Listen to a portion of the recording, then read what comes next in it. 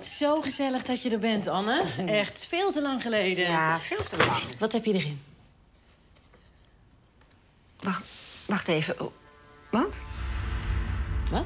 Hoezo, wat heb je erin? In, in je koffie? Wat heb je in je koffie? Maar dat weet je toch nog wel? Wacht, wacht even. Ik vind dit heel erg pijnlijk. Jij weet niet meer wat ik in mijn koffie heb? Jawel, zo ongeveer. Ingrid, je weet het of precies of je weet het niet.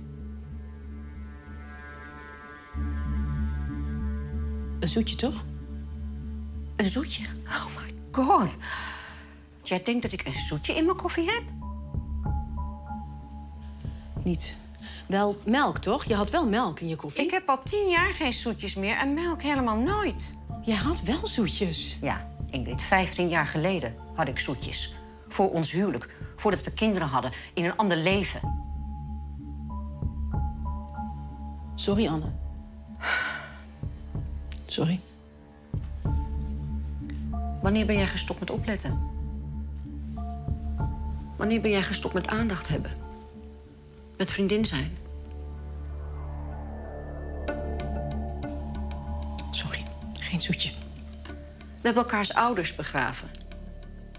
We hebben de hele wereld afgereisd samen. En nu dit?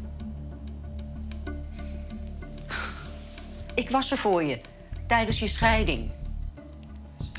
Toen kleine Tina zo ziek werd.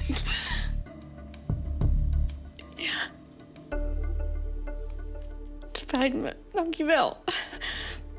Hier is je koffie. Zwart met niks erin. Nee, Oh, doe ik het weer fout? het is te laat. Ik wil je bedanken voor al deze mooie jaren, maar bij deze zeg ik de vriendschap op. Nou ja, zeg nee. Alleen maar vanwege dat zoetje? Nee, ik ga niet met jou in discussie. Ik stap uit dit gesprek en uit deze vriendschap. Anne, Anne, het spijt me. Anne, neem koffie. Hier, neem een koekje erbij, Anne.